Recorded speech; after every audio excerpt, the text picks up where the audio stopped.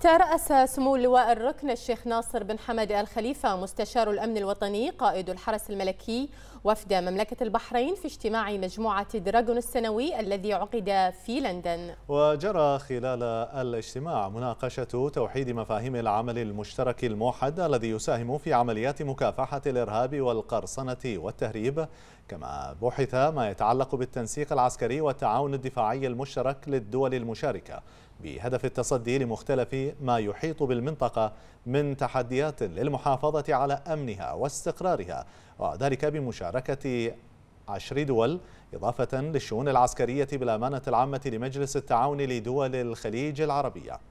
وأكد سمو مستشار الأمن الوطني قائد الحرس الملكي أن هذه الاجتماعات تساهم في إثراء الخبرات القيادية والقتالية وصقلها وتطويرها لاستيعاب متطلبات العمل العسكري المشترك بين الدول المشاركة والمتعلقة بعمليات مكافحة الإرهاب والقرصنة والتهريب وإيجاد أفضل السبل الكفيلة لتعزيز وزيادة فعالية هذا التعاون والتجانس من خلال توحيد التوجهات والمفاهيم المشتركة في الشأن العسكري للاستعادة والوقوف على أهم التطورات في المنطقة.